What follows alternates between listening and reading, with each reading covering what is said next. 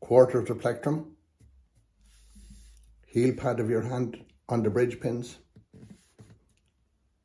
You could play it with all down strokes. I prefer to play down, up, down, up, down, up.